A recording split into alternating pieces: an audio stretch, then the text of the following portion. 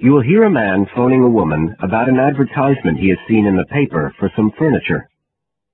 First, you have some time to look at questions 1 to 5 on page 9.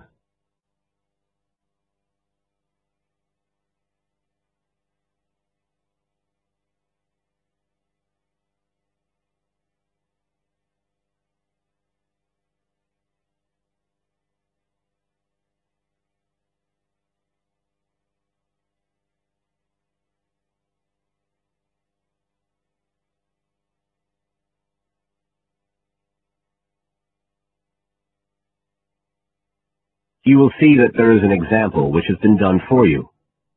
On this occasion only, the conversation relating to this will be played first.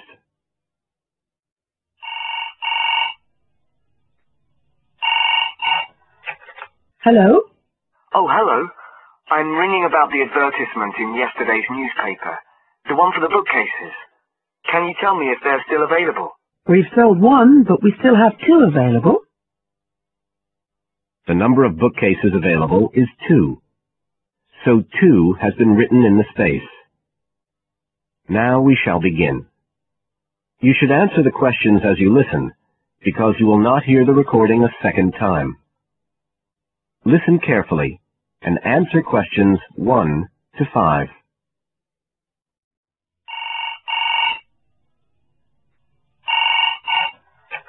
Hello? Oh, hello. I'm ringing about the advertisement in yesterday's newspaper. The one for the bookcases. Can you tell me if they're still available? We've sold one, but we still have two available. Right. Um, can you tell me a bit about them? Sure. Um, what do you want to know? Well, I'm looking for something to fit in my study.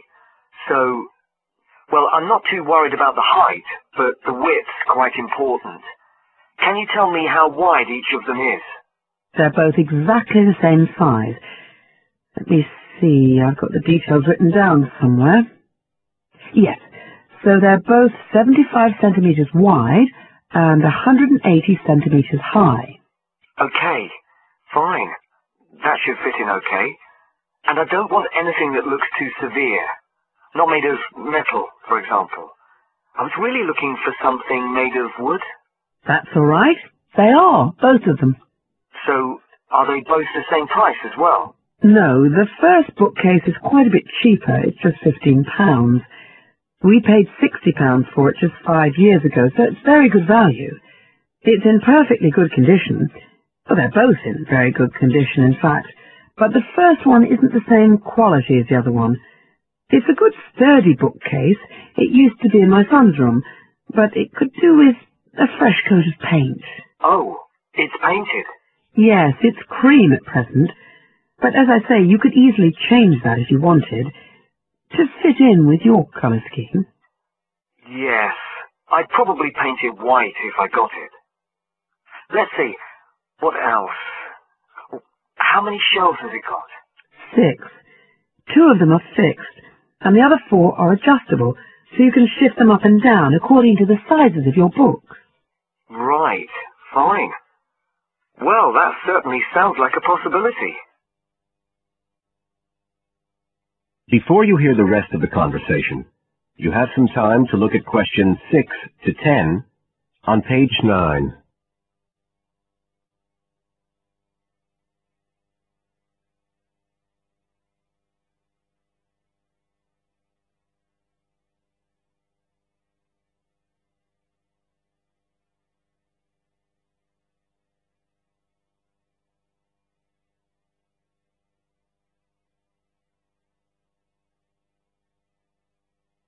Now listen and answer questions 6 to 10. But the second one's a lovely bookcase too. That's not painted, it's just a natural wood colour, a dark brown. It was my grandmother's, and I think she bought it sometime in the 1930s, so I'd say it must be getting on for 80 years old. So it's very good quality. They don't make them like that nowadays. And you said it's the same dimensions as the first one? Yes, and it's got the six shelves. But it also has a cupboard at the bottom that's really useful for keeping odds and ends in. Right. Oh, and I nearly forgot to say, The other thing about it is it's got glass doors, so the books are all kept out of the dust. So it's really good value for the money. I'm really sorry to be selling it, but we just don't have the room for it. Hmm. So what are you asking for that one? Ninety-five pounds. It's quite a bit more, but it's a lovely piece of furniture. A real heirloom. Yes. All the same, it's a lot more than I wanted to pay. I didn't really want to go above 30 or 40. Anyway, the first one sounds fine for what I need. Just as you like. So, is it alright if I come round and have a look this evening? Then, if it's okay, I can take it away with me. Of course. So you'll be coming by car, will you? I've got a friend with a van, so I'll get him to bring me round. If you can just give me the details of where you live. Sure. I'm Mrs. Blake. B-L-A-K-E. That's right. And the address is 41 Oak Rise. That's in Stanton. Okay. So I'll be coming from the town centre. Can you give me an idea of where you are? Yes. You know the road that goes out towards the university? Yes. Well, you take that road and you go on till you get to a roundabout.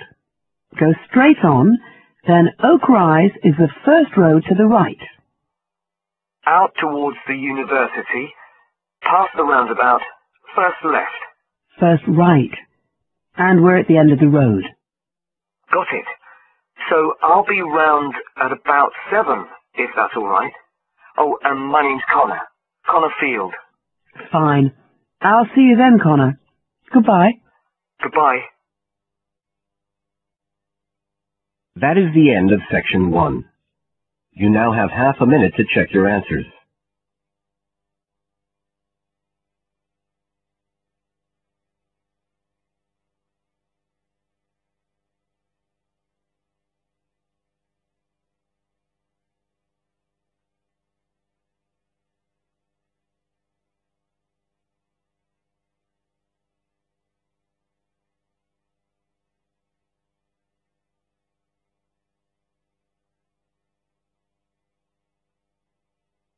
Now turn to section 2 on page 10.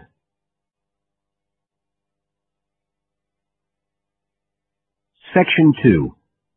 You will hear a talk on New Zealand radio about an art sale which is being held to raise money for charity. First, you have some time to look at questions 11 to 13 on page 10.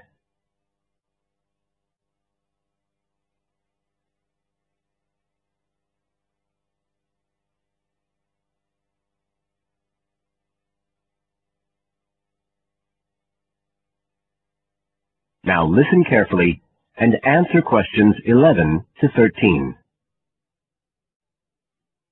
One of the most anticipated art events in Christchurch is the charity art sale organised this year by Neil Curtis. Neil, tell us all about it. Well, Diane, this looks like being the biggest art sale yet. And the best thing about it is that the money raised will all go to charity. So what you probably want to know first is where it is. Well, the pictures will be on view all this week, most of them at the Star Gallery in the shopping mall. But we have so many pictures this year that we're also showing some in the cafe next door. So do drop in and see them any day between 9 and 5. Now, if you're interested in buying rather than just looking, and we hope a lot of you will be, the actual sale will take place on Thursday evening, with sales starting at 7.30. Refreshments will be available before the sale, starting at 6.30. We've got about 50 works by local artists, showing a huge range of styles and media, and in a minute I'll tell you about some of them. You're probably also interested in what's going to happen to your money once you've handed it over. Well, all proceeds will go to support children who are disabled, both here in New Zealand and also in other countries. So you can find an original painting, support local talent, and help these children all at the same time. Before you hear the rest of the talk, you have some time to look at questions 14 to 20 on page 11.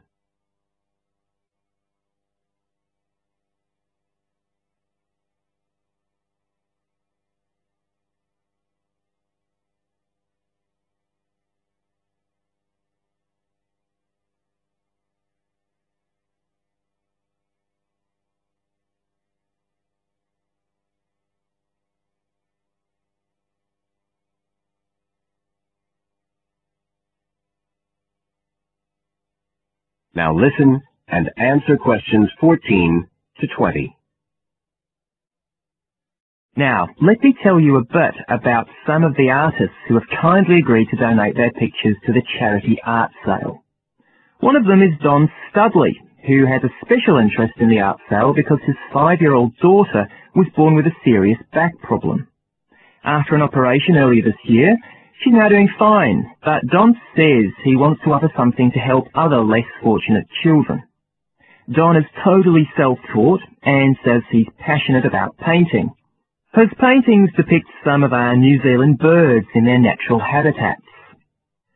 One relative newcomer to New Zealand is James Chang, who came here from Taiwan nine years ago at the age of 56. Mr. Chang had 13 exhibitions in Taiwan before he came to live here in Christchurch, so he's a well-established artist, and art has been a lifelong passion for him. His paintings are certainly worth looking at, if you like abstract pictures with strong colour schemes, you'll love them. Natalie Stevens was born in New Zealand, but has exhibited in China, Australia and Spain. As well as being an artist, she's a website designer. She believes art should be universal, and her paintings use soft colours and a mixture of media. Most of her pictures are portraits, so watch out, some of them may even be friends of yours. And then we have Christine Shin from Korea. Christine only started to learn English two years ago when she arrived in New Zealand, but she's been painting professionally for over 10 years, and she sure knows how to communicate strong messages through the universal language of art. She usually works from photographs and paints delicate watercolours, which combine traditional Asian influences with New Zealand's landscapes, giving a very special view of our local scenery.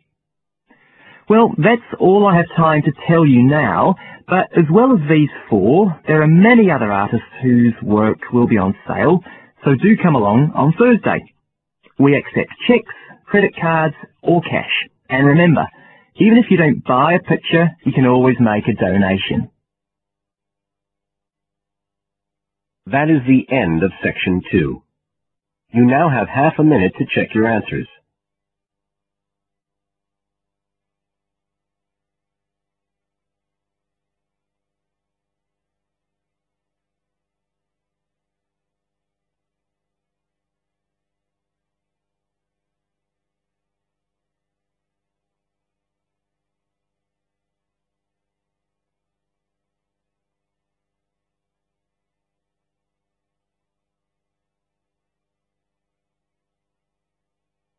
Now turn to section 3 on page 12.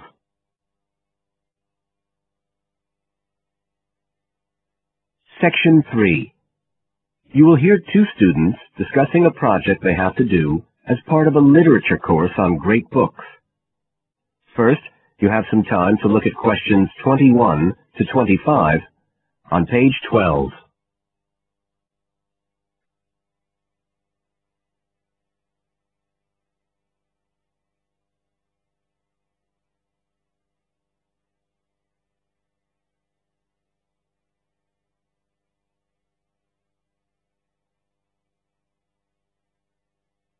Now listen carefully and answer questions 21 to 25. Hi, Joey. How are you doing? I heard you were sick. Oh, hi, Olivia. Yeah, I had a virus last week, and I missed a whole pile of lectures, like the first one on the great books and literature, where Dr. Castle gave us all the information about the semester project. I can give you copies of the handouts. I've got them right here. But that's okay. I already collected the handouts, but I'm not very clear about all the details. I know we each have to choose an individual author. I think I'm going to do Carlos Castaneda. I'm really interested in South American literature. Have you checked he's on the list that Dr. Castle gave us? We can't just choose anyone. Yeah, I checked. It's okay. Who did you choose?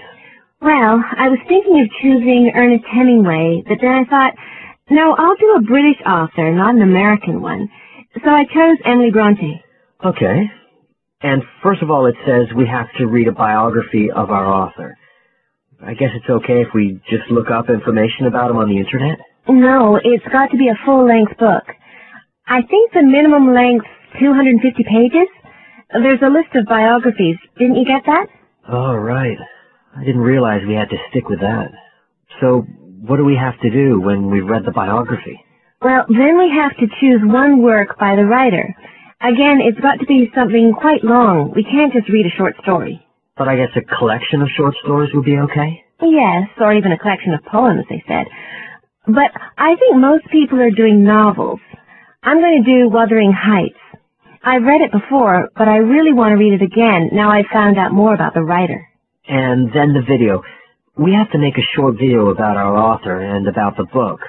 How long has it got to be? A minute. What? Like 60 seconds?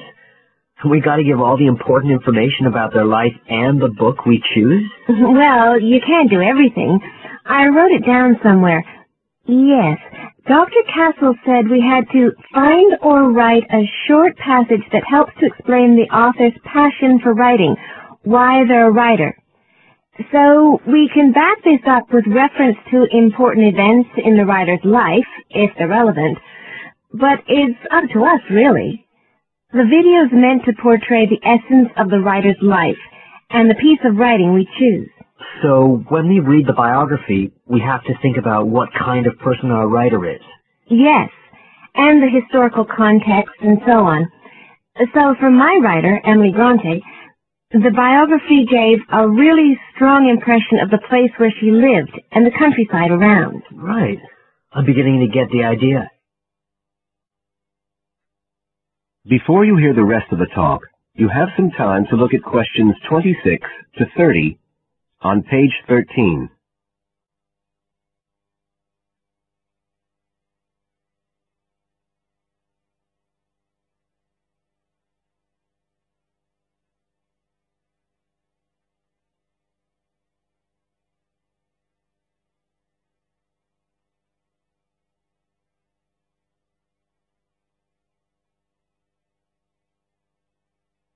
Now listen and answer questions 26 to 30.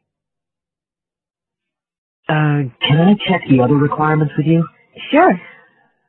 The handout said after we'd read the biography, we had to read the work we'd chosen by our author and choose a passage that's typical in some way, that typifies the author's interests and style. Yes, but at the same time, it has to relate to the biographical extract you choose. There's got to be some sort of theme linking them. Okay, I'm with you. And then you have to think about the video. So are we meant to dramatize the scene we choose? I guess we could, but there's not a lot of time for that. I think it's more how we can use things like sound effects to create the atmosphere, the feeling we want. And presumably visuals as well? Yeah, of course. I mean, I suppose that's the whole point of making a video. But whatever we use has to be historically in keeping with the author. We can use things like digital image processing to do it all. So we can use any computer software we want. Sure. And it's important that we use a range, not just one software program. That's actually one of the things we're assessed on. Okay. Oh, and something else that's apparently really important is to keep track of the materials we use and to acknowledge them. Including stuff we download off the internet, presumably? Yeah, so our video has to list all the material used with details of the source in a bibliography at the end. Okay. And you were talking about assessment of the project. Did they give us the criteria? I couldn't find anything on the handout. Sure. He gave us them in the lecture. Let's see. You get 25% just for getting all the components done. That's both sets of reading and the video. Then the second part is actually how successful we are at getting the essence of the work. They call that content, and that counts for 50%. Then the last 25% is on the video itself, the artistic and technical side. Great. Well, that sounds a lot of work, but a whole lot better than just handing in a paper. But thanks a lot, Olivia. You're welcome. That is the end of section 3. You now have half a minute to check your answers.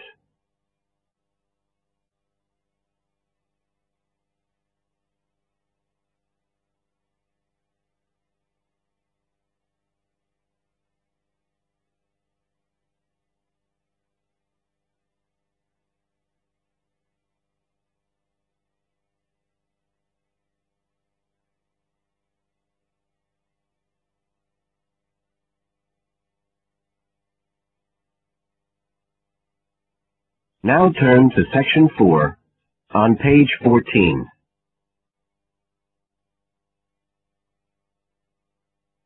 Section 4. You will hear a speaker giving a talk about some recent research about unusual life forms.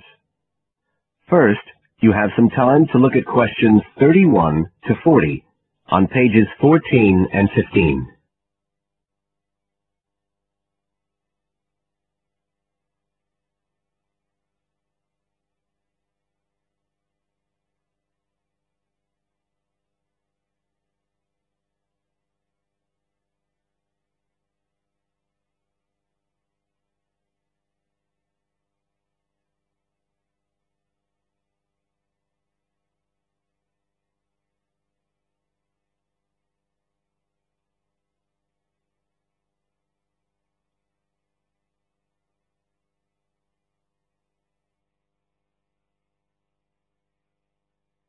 Now listen carefully and answer questions 31 to 40. Hello everybody, and welcome to the sixth of our ecology evening classes. Nice to see you all again. As you know from the program, today I want to talk to you about some research that is pushing back the frontiers of the whole field of ecology. And this research is being carried out in the remoter regions of our planet, places where the environment is harsh and, until recently, it was thought that the conditions couldn't sustain life of any kind. But life forms are being found, and these have been grouped into what is now known as extremophiles. That is, organisms that can survive in the most extreme environments. And these discoveries may be setting a huge challenge for the scientists of the future, as you'll see in a minute.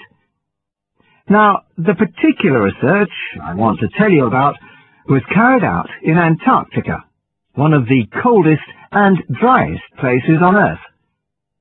But a multinational team of researchers from the US, Canada, and New Zealand recently discovered colonies of microbes in the soil there where no one thought it was possible.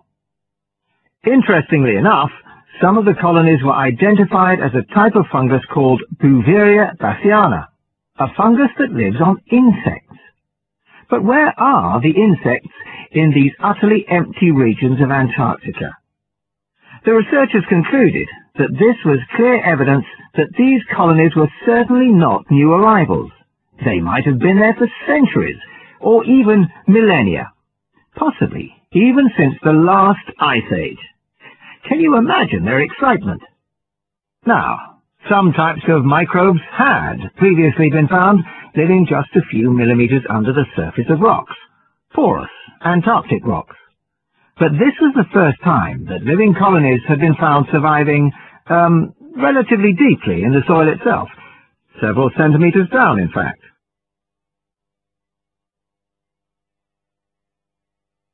So, the big question is, how can these colonies survive there?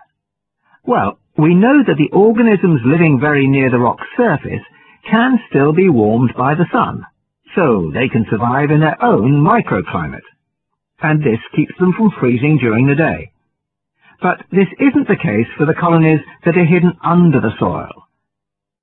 In their research paper, this team suggested that the very high amounts of salt in the soil might be the clue because this is what is preventing essential water from freezing.